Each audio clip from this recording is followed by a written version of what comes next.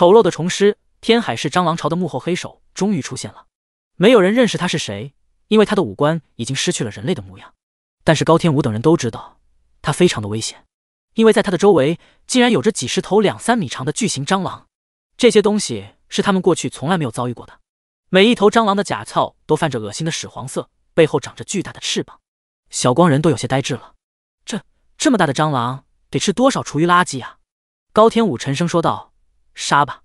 虫师嘿嘿嘿冷笑着，我还以为来的是张毅呢，原来是小瘪三，那就全都死在这里，做我宝贝们的肥料吧！他话音刚落，身边那几十头蟑螂猛地跃起，如同炮弹一般，朝着高天武等人就冲了过去。高天武怒吼一声，双手合十，浑身竟然泛起了一层金色的光芒。下一瞬间，他的身体如同寺庙里的佛像一般，宝箱庄严，肌肤都变成了佛像的金身之色。高天武八岁的时候，父母曾经带他去少室山礼佛。当时，一位高僧告诉过他的父母，他天生有佛缘。自此之后，他虽然未入佛门，却深信禅宗不移。佛宗是一种能够深入人心的理念，信仰的力量让他诞生异能之后，开始朝着佛的领域靠拢。一如他的能力五方揭谛，正是源自于佛宗的护法神金光揭谛。高天武浑身笼罩着金色的光芒，面对那些飞扑而来的怪物，纵身直接迎了上去。身后午门的兄弟们也没有松懈，怒吼着扣动扳机。用手中的步枪对他们进行射击，青蛙吹奏竖笛的频率开始加快。虫族克星的力量虽然无法完全压制住这些变异的巨型蟑螂，却也能够产生一定的影响，让他们的行动力受到巨大的束缚。高天武仗着佛光护体，近身与那些巨型蟑螂厮杀到了一起，而小光更是直接化身汽车之后，他轰隆隆发动油门，直接仗着皮糙肉厚朝一头蟑螂撞击了过去。高天武的拳头砸在一头蟑螂的身上。顿时将那头两米多高的蟑螂击飞出去四五米远，在雪地当中翻滚了好几圈。但是这种生物的防御力与生命力都太强了，很快便站起身来，抖动翅膀，再次朝高天武杀来。很快，他就被一大群蟑螂围困在了中间。高天武的脸上没有丝毫惧色，既然敢来对付这些蟑螂，他就早有准备。他从怀中掏出一瓶烈酒饮下，然后张口喷出一道汹涌的火焰。摩诃揭谛，般若净魔业炎。虫子最为畏惧火焰。这是他们的天性。高天武的火焰一出，周围的蟑螂们顿时吓得后退开来。大哥，我来了！小光轰隆隆排放着尾气，然后冲到战场当中。他腾空飞了起来，后备箱自动打开，然后从里面掉下来十几个塑料桶。塑料桶掉落在坚硬的地上，啪的一声，直接就碎掉了，里面的汽油飞溅的到处都是。那些蟑螂不可避免的被溅射到。高天武趁机释放出火焰，右拳狠狠砸向地面。顿时，一道火龙沿着汽油的痕迹直奔那些蟑螂而去。呼！汹涌的火势骤然而起，一群蟑螂被大火所包裹，吓得失去了控制。畏惧火焰是他们的本能。一时间，几十头巨型蟑螂竟然都不敢进攻高天武等人，反而选择了躲避。这一幕可把那名虫师给气得够呛。但毕竟是低等生物，也不可能指望他们又能生又没脑子，还具备强大的战斗能力吧？他目光一转，发现了问题的所在。表面上看，高天武等人是战斗的主力，实际上对蟑螂巢影响最大的还是那头青蛙。如果可以杀死他的话，蟑螂巢就不会受到影响，高天武等人也是必死无疑。虫师张开嘴，发出了虫子的鸣叫。五六头巨型蟑螂得到命令之后，立刻飞扑向青蛙。青蛙见状，不得不停止了吹奏。呱！虫子想要捕食青蛙吗？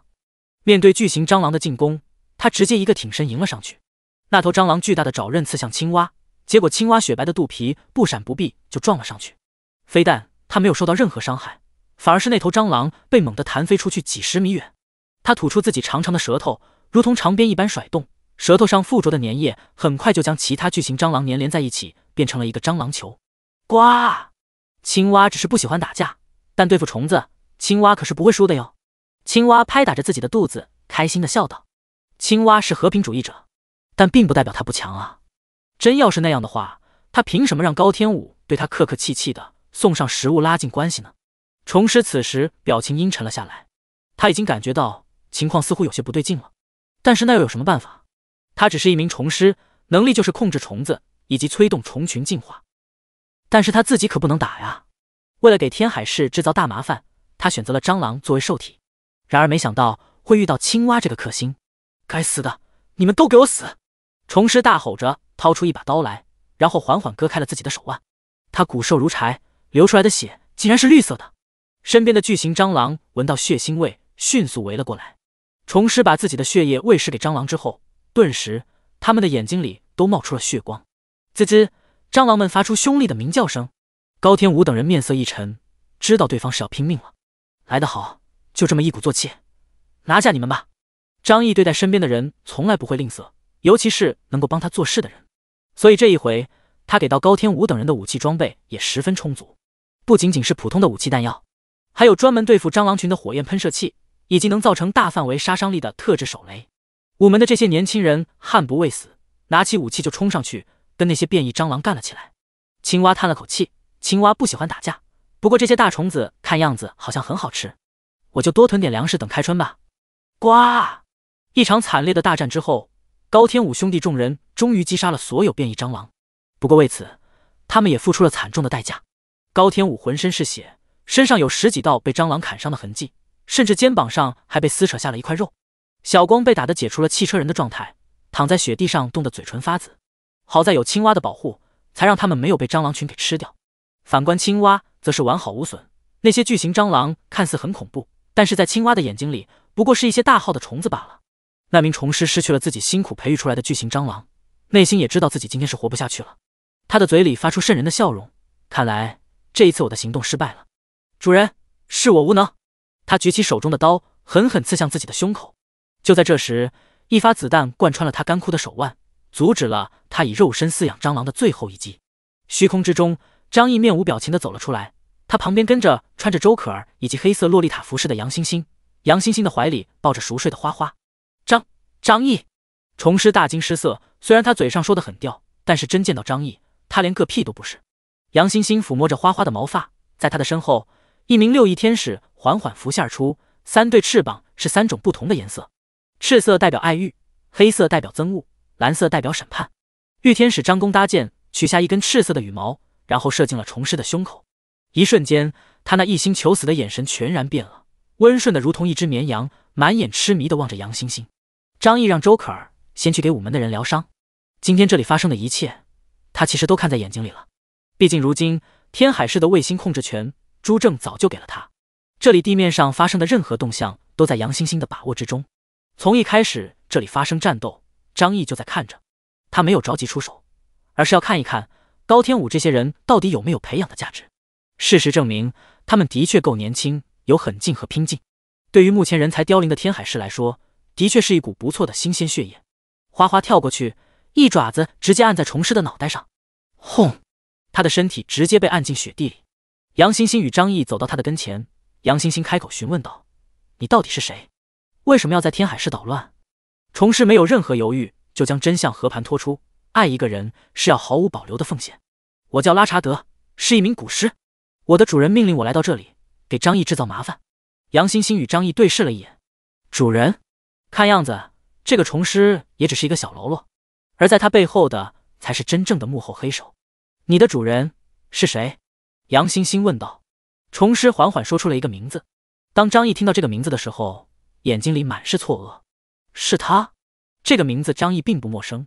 只是他无论如何都没想到，那个人竟然还活着，而且会来到天海市报复他。张毅皱着眉头，百思不得其解。他实在想不到那个人为什么会回来，又凭什么敢跟他作对。带回去，好好审问，把他嘴里每一个有用的情报都掏出来。张毅淡淡的说道。花花的体型瞬间变大，略有些嫌弃的把虫尸叼起来。这个家伙一身的味道让人作呕。张毅转过身去见高天武等人。他们此时受伤颇为严重，如果没有得到及时的救治，在这种天气一定会很快死掉。不过见到张毅来了，他们仍然是强撑着，等待张毅过来与他们说些什么。张毅看着这群目光坚毅的年轻人，点了点头。这次你们做的不错，我会把你们治好，然后给你们丰厚的奖赏。高天武却摇了摇头，我们不要奖赏。张毅挑了挑眉，似笑非笑，不要奖赏，那就是嫌弃我给我的不够多了。如果一个人说他什么都不要，绝对是因为他想要的更多。高天武也不否认，非常坦诚的说道：“张先生，我们兄弟几人想要跟着您。”张毅嗤笑了一声：“跟着我？你们？对，我们。”张毅深吸了一口气：“你们的实力还太差了，跟着我也没什么作用。不过看在你们这么尽心尽力做事的份上，我倒是可以给你们安排一个地方住下。